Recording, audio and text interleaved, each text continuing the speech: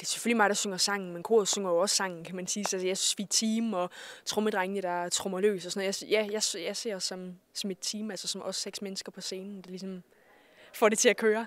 Så det er bare dejligt, de med. Jeg ville være meget nervøs, hvis jeg skulle stå der helt alene, og jeg ikke havde noget. How many times can we win and lose? How many times can we break the rules between us?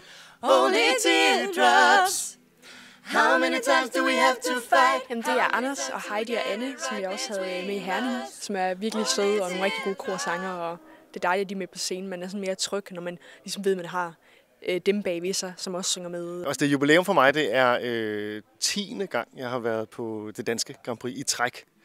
Øh, og det er fjerde gang, jeg er på vindersang. Anden gang. Det er anden gang, jeg er på vindersangen. Jeg var også på Genie Never. Green hedder det. Og, øh, og så den her. Men øh, jeg har ikke tal på, hvad gang det er. Jeg tror, jeg overhaler dig. I'm Men ikke i sorry. træk. Nej, ikke i træk. Det er syvende gang i streg. Eller i træk, hedder det vel. Ja. Jeg var selv med i syv, og så har jeg været med siden på som kor. Øh, Men det er første gang, at jeg er med på en, der har vundet og går videre til det internationale. Så øh, jeg troede, jeg var jinxet de andre lidt, men øh, det gjorde jeg ikke, fordi nu, nu er vi med. Jeg hedder Morten, spiller i Copenhagen Drummers. Ja, jeg hedder Jakob. Og spiller også Copenhagen Drummers. Så øh, præcis. Vi har jo begge to været i Livgarden, og det er sådan noget lidt stram militær eksercit, hvor vi går lidt frem og tilbage og laver nogle skarpe vendinger og sådan noget.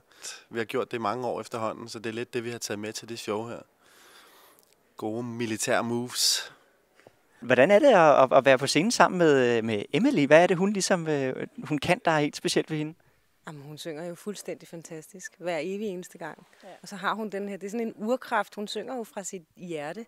Og det kan man mærke. Det synes jeg, man kan mærke i hvert fald. Og så er det skønt at være med. Altså, det giver sådan en god fornemmelse. Rigtig god fornemmelse. Jeg synes meget, det hun har, det er noget, man ikke kan... Det er ikke, en, det er ikke noget, man kan købe sig til, og det er ikke noget, man kan fake. Hun har bare en, en naturlig tilstedeværelse i det, hun laver, øh, og er bare en rigtig, rigtig sød og dejlig pige. Så det tror jeg, det, det er det, der går direkte hjem også. Og så synger hun jo helt fantastisk. Selvfølgelig gør hun det. Vi prøver jo at lære hele Europa at spille fløjten fra, fra Only Teardrops. Øh, Kan du spille den endnu? Nej, det kan jeg sgu ikke. Men jeg har faktisk heller ikke øvet mig på det. Nu har jeg fået en fløjte i dag, så nu satser jeg på, at nu skal det læres. Og så har jeg jo Jakob til at give mig privatundervisning. Og jeg tænker en ting, fordi vi må ikke stemme på os selv. Men det er jo sang nummer 5. Ja. Og et lille trick kunne være, hvis man kører op til øh, Vedbæk. Der nogle gange, så hopper ens mobil over på det svenske net. Så jeg vil opfordre alle til at køre til Vedbæk øh, den 14. og forhåbentlig også den 18. Og så simpelthen holde det op og stemme på Danmark. Ja. Jeg tænker, det er en mulighed.